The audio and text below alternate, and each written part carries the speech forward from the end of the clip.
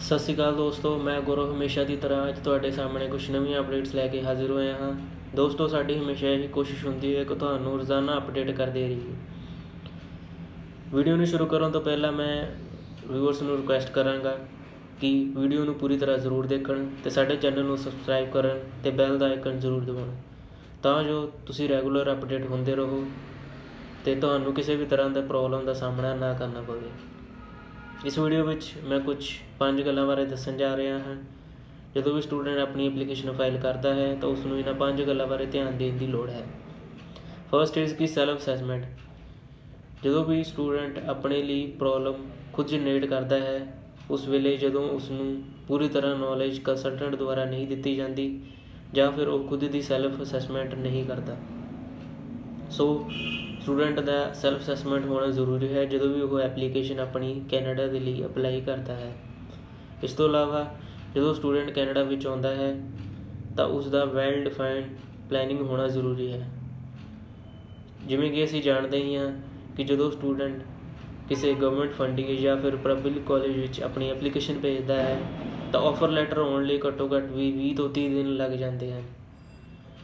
ਜਿਸ ਕਰਕੇ ਕਈ ਸਟੂਡੈਂਟ ਜੋ ਕਿ ਪੇਸ਼ੈਂਸ ਵੀ ਰੱਖਦੇ ਹਨ ਬਟ ਦੂਜੇ ਪਾਸੇ ਕਈ ਸਟੂਡੈਂਟ ਜੋ ਸੋਚਦੇ ਹਨ ਕਿ ਜਲਦੀ ਵਿੱਚ ਆਪਣੀ ਐਪਲੀਕੇਸ਼ਨ ਲਾ ਦਈਏ ਤੇ ਉਹ ਐਪਲੀਕੇਸ਼ਨ ਸਾਡੀ ਪਹਿਲਾਂ ਅਪਰੂਵਡ ਹੋ ਜਾਵੇ, ਜਦਕਿ ਇਦਾਂ ਨਹੀਂ ਹੁੰਦਾ।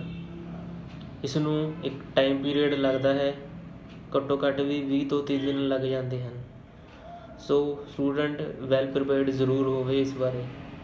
ਤਾਂ ਜੋ ਉਸ ਨੂੰ ਕਿ ਫਰਦਰ ਫਿਊਚਰ ਵਿੱਚ ਕਿਸੇ ਵੀ ਪ੍ਰੋਬਲਮ ਦਾ ਸਾਹਮਣਾ ਨਾ ਕਰਨਾ ਪਵੇ। ਇਸ ਤੋਂ ਇਲਾਵਾ ਇੰਗਲਿਸ਼ ਕ੍ਰੈਡੀਬਿਲਟੀ ਵਿੱਚ ਵੀ ਕੁਝ ਗੱਲਾਂ ਬਾਰੇ ਧਿਆਨ ਦੇਣ ਦੀ ਲੋੜ ਹੈ।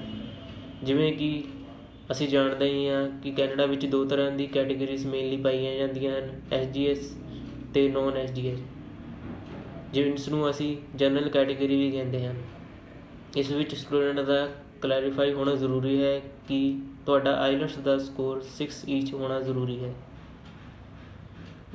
ਕੈਨੇਡਾ ਵਿੱਚ ਮੇਨਲੀ ਤਿੰਨ ਤਰ੍ਹਾਂ ਦੇ ਐਗਜ਼ਾਮ ਅਪਰੂਵਡ ਹਨ ਟੋਫਲ ਆਈਲਟਸ ਐਂਡ ਪੀਟੀਈ ਜਦੋਂ ਸਟੂਡੈਂਟ ਆਪਣੇ ਕੋਰਸ ਚੂਜ਼ ਕਰਦਾ ਹੈ, ਤਾਂ ਉਸ ਉਸ ਦਾ ਰੈਲੇਵੈਂਟ ਹੋਣਾ ਜ਼ਰੂਰੀ ਹੈ।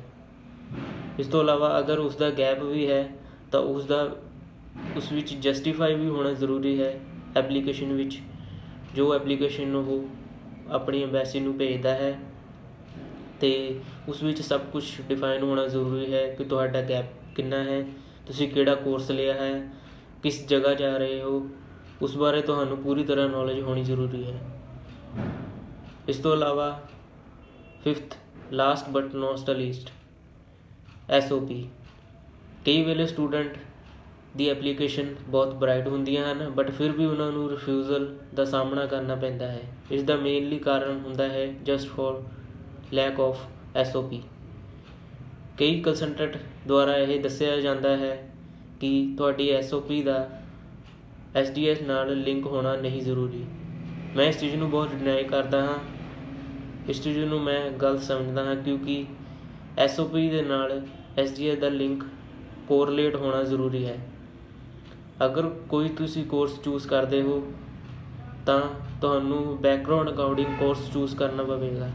ਅਦਰਵਾਈਜ਼ ਅਗਰ ਤੁਸੀਂ ਕੋਈ ਨੋ ਰੈਲੀਵੈਂਟ ਕੋਰਸ ਲੈਂਦੇ ਹੋ, ਤਾਂ ਤੁਹਾਨੂੰ ਆਫੀਸਰ ਦੁਆਰਾ ਰਿਫਿਊਜ਼ਲ ਜਾਂ ਫਿਰ ਰਿਜੈਕਸ਼ਨ ਵੀ ਦਿੱਤੀ ਜਾ ਸਕਦੀ ਹੈ। ਸੋ ਇਸ ਲਈ ਇਹਨਾਂ ਪੰਜ ਗੱਲਾਂ ਦਾ ਧਿਆਨ ਜ਼ਰੂਰ ਦੇਣ, ਜਦੋਂ ਵੀ ਸਟੂਡੈਂਟ ਐਪਲੀਕੇਸ਼ਨ ਆਪਣੀ ਫਾਈਲ ਕਰਨ। ਹੋਰ ਨਵੀਆਂ ਅਪਡੇਟਸ ਲਈ ਸਾਡੇ ਨਾਲ ਜੁੜੇ ਰਹੋ। ਤੁਹਾਡੇ ਕੋਈ ਸਵਾਲ ਹਨ, ਤਾਂ ਸਾਡੇ ਕਮੈਂਟ ਸੈਕਸ਼ਨ ਵਿੱਚ ਤੁਸੀਂ ਭੇਜ ਸਕਦੇ ਹੋ। ਇਸੇ